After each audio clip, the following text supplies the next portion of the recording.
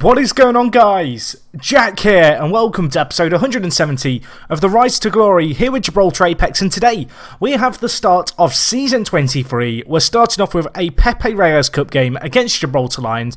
If you missed last episode go check it out as always it was a international special and yeah, yeah as with any new season I guess the thing to start with and the thing that everyone is always interested in is the transfers. So let's get into them.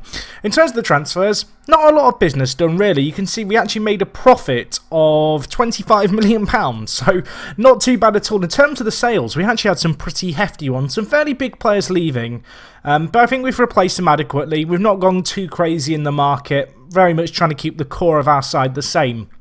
Anyway, in terms of the team, a few players worth kind of noting who have left recently. Castano has gone to Manchester 62, of course, Camilo Castano, uh, the centre-back who plays for the Gibraltar national team. Francisco Salcedo has gone to College Europa. Not an entirely tran uh, surprising transfer. This guy needs first-team football. We have some emerging goalkeepers. It makes sense for him to go and play regular first-team football to benefit the national team.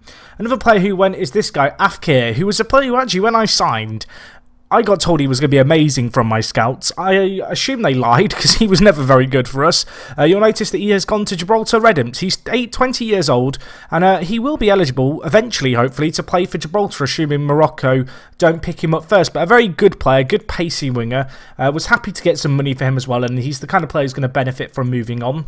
Anyway, a few kind of other players going out on the outs. Jason Mesa, a player who left us, a player who's kind of been forgotten about. He was in our kind of club for the last few years. You can see we signed him a few years ago now. He actually went on loan to Calgary. Um, I can never say this team's name. Is it Cagliari? It doesn't matter. He's gone back to them. £4.5 million. They obviously were impressed with him on his loan, and uh, it was good to get some money for him. We also let Skeffington go to Valencia. Um, I wasn't 100% comfortable with this transfer, but he was kicking up a fuss about wanting to go. I really like Skeffington because he can play right and left back. However, in a weird twist of fate, I signed a player from Valencia for £250,000 more than I signed Skeffington from, called Gonzalez. And uh, if we just compare these two guys real quick, uh, if I can find him, Skeffington, um, you can see that they're fairly evenly matched in a lot of ways. Gonzalo's not necessarily as physically gifted, but he's very good mentally. His physicals aren't bad either. He's a pretty rapid player. And, um, well, to get him in as a replacement for Skeffington kind of worked out well for all parties. Anyway, three more transfers, three big ones. The first one going out, Rildo, £15 million has gone to West Ham. It's a good fee for us to receive for our fourth choice striker. We have bought in replacements, of course, for him. We sold Sigurd Knudsen, a player who has gone to, well, as you can see here, College Europa for some decent money. Um, if you don't remember this guy, I don't blame you. Uh, he's been at the club a little while. He's had a few loan spells here and there. Last year, he actually spent the season on loan at Lens. Uh, and he played fairly well there. Before that, he was at Elche, and uh, well, we got a very, very good fee from a fellow Gibraltarian club, £16 million. Decided to let him go. I was very happy about that. And then the last player we sold was Diego Grana, a player who I signed last January for a measly fee, really, in hindsight, of uh, £6.5 million. He had a good kind of half a season with us, but with a lot of emerging centre mid talent, and this guy being, well, on the cusp of turning 30, really, um, it made sense to move him on while we could, and well, to get well, as you can see here, £17.5 million for a player who we signed for a fraction of that earlier on, uh, the kind of in the season. I was very, very happy about that. Anyway, they were the major transfers. There's a few other deals here that might stand out. A few loanies, a few free transfers, players being released, but really, just not a lot happening on the transfer front. In terms of players coming in, familiar name, Carlos Andres Mora. He returned, 28 years old, Colombian. Uh, good player, can play up front as well, so he kind of semi-solves the Rildo leaving problem, but he is also a very useful centre mid, and because he's homegrown, I decided to bring him in. I talked about that at the end of season live com for last season, and um, yeah, homegrown players, a lot of these guys. The next player, homegrown, the Mech. 24 years old, Algerian, a player who you might not recognise. He played in our reserve team for three years. He got homegrown status. We actually ended up losing him on a free to Malmo. He's rebuilt his career, had a good stint at Leipzig. Uh, he then went to Swansea in the Premier League. He actually scored a goal against us, I do believe, in the Champions League last year. And, uh, well, this year he's going to be wearing our shirt, which is nice. He'll probably be a fourth or fifth choice striker, but at 24 years old, he's a good player. We have played, uh, sorry, we have paid a fair bit of money, but we've sold a lot of players as well so it kind of works out for us. And the fact he's homegrown, the fact he's a very good striker, is uh, useful, certainly. Another player we brought in for his homegrown, state, uh, homegrown status was this guy, Henrik Invartsen, uh, another Danish player, a bit like Knudsen, who we sold. uh, in here, you can see we bought him um, for 620, uh, 625k. We then released him last year where he went to Midtjylland, and I've signed him again for 4.2 million pounds. And normally, obviously, this is the kind of business that you really can't afford to do in Football Manager. However, with the TV deal, with the club finances, it wasn't too painful. Anyway, the last player we brought in, a player who I brought in just as a bit of backup, really, in the centre back position, it's this guy, uh, Jeroen Toll. He is Dutch. He's never played for the Holland national team. We signed him from Southampton. He was a very late deal in the window. We got him for £7 million, which is not a bad fee, I don't think. And uh, the reason we got him in was because actually at one point I was hoping Knudsen would be kind of our third or fourth or fifth choice centre back, really. With him going out for, well, £16.5 million, I needed to get a replacement, and we got in Toll for a fraction of the price we sold Knudsen for. So another good little bit of business. So in terms of our club balance, we sit at 165 million pounds. Our transfer budget 91 million. Wage budget £300,000 spare. I have money to spend in January if I want to. Will I need to? I don't hope. Well, I hope not. I don't think so. But uh, regardless, you know, good financial position for the club to be in, turning a nice profit. Uh, always good there. In terms of transfers, a little thing that I want to talk about real quick is the fact that teams in Gibraltar are starting to spend more money. Gibraltar Lions, kind of unsurprisingly, they spent £23 million. They didn't kind of go too crazy with their deals. Glasgow United, newly promoted, spent £2 million, which is good to see them spending a fair bit of money. Signing players from Atletico Madrid, Copenhagen, a nice variety of players there for a team who haven't really been attracting that many players. You can see here Lincoln Red Imps spent £9 million. Uh, lots of little transfers, really, from all over Europe, to be honest and uh, good to see them kind of strengthening the squad in all areas. Uh, Links FC spent £1.94 million, which is actually more than they have in the past. They're still worth multi-million uh, pounds, but they're still keeping fairly shrewd with their money. Another team spending the cash, Manchester 62, a team who have been doing that for a while. St Joseph spent £1 million, which is good to see, signing uh, Elliot Long here from Fleetwood Town for £600,000, which I believe is perhaps their highest transfer ever.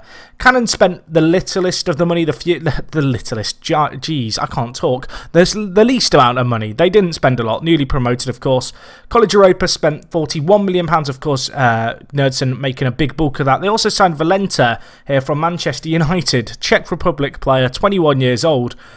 He's very good. £14 million, though, a big, big fee. The last team to spend money, an interesting one. Gibraltar Phoenix, newly promoted, I do believe, to the division. You can see here, they've been a bit of a yo-yo club. They've come back into the Primera division. I don't know if it's off the rep boost they got for winning the Segunda division, but they've suddenly seemed to be able to attract players and they've gone really, really crazy with their transfers. They actually spent £8 million on one player, and it was a player from West Bromwich Albion, and it was this guy, Daniele Piacenti, uh, or Piacenti, I he's Italian. He's very good. He's 19, a good little centre back. Um, 19 years old, a fair bit of money paid, probably not worth that much money if I'm honest, but it's good to see them being willing to splash the cash. So anyway, not a lot's really changed for us here, as I kind of alluded to right at the beginning of this episode.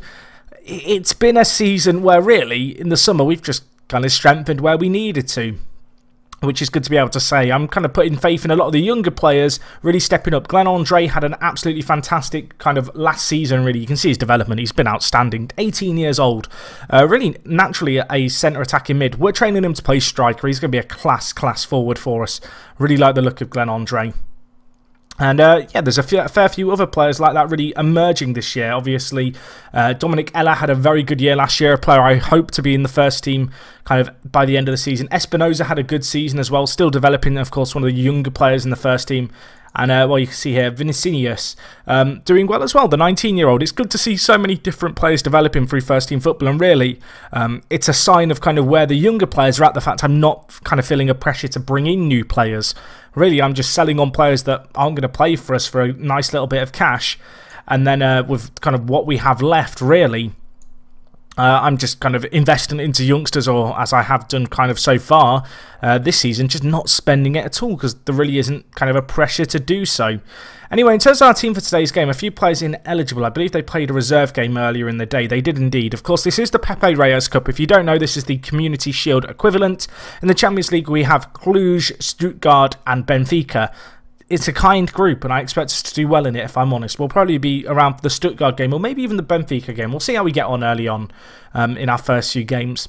Either way, let's get into today's game. Gibraltar Lions, they've signed a fair few players. They're going to be a tricky team for us, but we still really should be expecting to beat them. In terms of our team, it's pretty much full strength. We are missing a few players in the defence. Kabasele and Assad both suspended for this first game of the year. That's perhaps worth keeping an eye out on. Uh, but really, elsewhere in the team, it's it's a strong team. It's a very good team, obviously. I, am part of me wants to bring in Joe Bouchard, although to be honest, he's been kind of declining so rapidly. I mean, look at this. What happened? What happened over the summer? Did his legs drop off? Because that's what it looks like. If we, I, I looked at this earlier. This made me cry. Let's have a look at Bouchard's physicals because it doesn't it doesn't paint a particularly pretty picture. If I'm honest, let me get rid of the ones which aren't aren't useful for us here. If we just look at his pace, yeah, I mean, it dropped by 0.8. um, it's been a bit of a, a, fall from grace, really, for Joe Bouchard over the last year or so. I think we're going to start him today, but he won't be playing much football for us. He's only 33, but his legs have just completely gone. Part of me really hopes that kind of his mentals kind of step up, I guess, because to be honest, he's quite a good technically gifted player, and he is only 33. If his mentals can improve and his technicals can go through the roof, he could still be useful for us. I mean, 17 passing, 17 vision. He's got Pirlo written all over him. Anyway, we're going to give him the start today. Gonzalez, of course, one of our new players, a replacement for Skeffington from Valencia, going to be starting today's game at left back. A bit of pressure on him. Gary Horse, the other player, really, who um, wouldn't necessarily be a starter to slot into the team. Uh, and of course, if you didn't realise, we have not signed a new goalkeeper. Ludwig Young is still our first choice goalkeeper, but of course, we've got Veronese uh, coming through, and we've got Javi as well coming through. So, two exciting goalkeeper prospects, and um, I don't know. I feel like this might be the last year for a few players who have been long term members of the, the club to kind of be those starters for us. I feel like the likes of really Ludwig Young, Bouchard, and Paul Smith, you know, 33 years old now, all three of them. Um, it, it's getting to that stage where players like Paul Smith and Bouchard, their legs are going to go, and particularly for Paul Smith out wide, it kind of is a little bit bleak. Either way, let's hopefully, hopefully, I say, um, win the Champions League this year. I want to win the Champions League uh, with Ludwig Young. Paul Smith and uh, Bouchard in the squad. If they if they retire before we win one, it's just gonna be really sad. I want them to be the players to lift the trophy aloft. You know, players who signed for us really, really in our first two seasons of going pro, kind of many years ago now. It's 15 years, I think, since they signed, which is absolutely mental to think we're that far into this save at this point. Just players who have been around for so long. I mean, to put that into perspective, I think with FM, my longest ever save on my channel was maybe 13 years before this year. I think 13 years might be the record. I think the FC United Manchester save is the longest running save on my channel in terms of game date. That's been smashed this year by this save. But to think that some of the players who play for us have been at the club longer than my second longest save it's a little bit mad. Either way, we need to be switched on here. Gibraltar Lions, a good team. We don't want to lose them, and Darlington probably should have scored. Looking at it, we've been on top in the game in terms of, well, the shots, but, well, Gibraltar Lions, they've had two half chances. They've had a clear-cut chance. They should be doing more with it.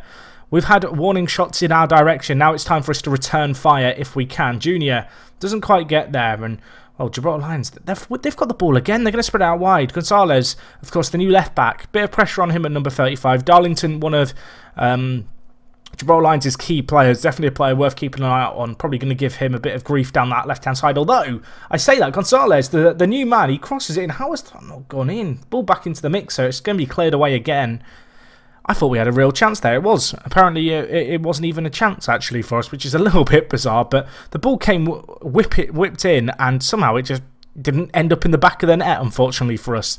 That said, Mini Mosca winning it. Gerard heads it to Mr. Nobody. And uh, it's Gibraltar Lions with with the highlights again. It would seem they've got the ball again. Gonzalez, I, I, I mean, I said he was going to have a tough game. Dudes, how have you got the ball there? I don't care. He's got to score that. Solo tips it onto the post, and well, at half time, unless we score in the last last minute, it's going to be nil nil. And that is a little bit concerning, if I'm honest. Obviously, I'm delighted to see Gibraltarian football getting more competitive, but I, want to win the Pepe Reyes Cup. I'm far from pleased, boys. Please sort it out in the second half. Um, Gerard's not having a great game. Paul Smith's having a really poor game. Mini Mosca's having a poor game as well. Gonzalez struggling for fitness. I'm going to have to take off Mini Mosca. I'm going to bring in Carlos Andres Mora And I'm going to move Joe Bouchard. In fact, no, I'm going to keep Joe Bouchard at deep line playmaker. But um, no, we're going to welcome back Carlos Andres Mora. I'm going to give a, I'm going to give a round of applause because he's back. The Colombian, a player who's been at the club for a long time. If you've been watching this eight for a while, you'll know all about him. Scored some big goals for us. I think he scored some memorable goals. I feel like it was against Lazio, maybe. And we were we needed something like three goals in the last 30 minutes, and he I don't know if he came on as a sub, but I feel like he got like a brace or maybe two assists and a goal, and it, it was just a standout performance. He's back. Hopefully, you can give one of those today because we kind of need it because there's 23 minutes left and it's nil nil. And I don't really like that, if I'm honest. It's not great. Anyway, Salas, of course, a Gibraltarian footballer we know from the national team, playing at left back, involved in this build up here. And actually, it's the new player, the Czech Republic record signing, marauding in. A tackle comes flying in and Eder scores. Oh dear, oh dear, oh dear, oh dear. Panic. Everyone panic. We're 1 0 down. There's 12 minutes left. It's all gone horribly, horribly wrong. Paul Smith, please get off the pitch. Mosca, get on. Um, I mean, we need to try not to panic, but I am panicking. right we have done those changes. Do I want to make another... Uh, I don't know how I take off. I don't really want to take off Gerard. I could take off Junior and bring in Thiago.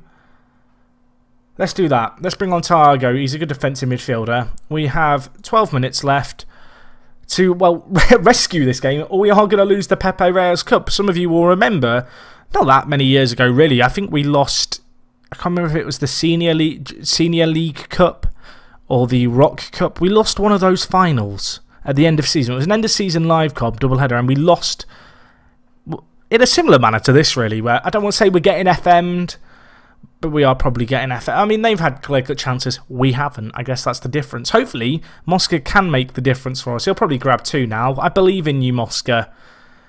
I, I, I'm worried. I'm right. Well, season 23 might not be off to the best start here, if I'm honest. And um, it's all very awkward, isn't it? Well, hopefully this is a sign of things to come, is all I can really say.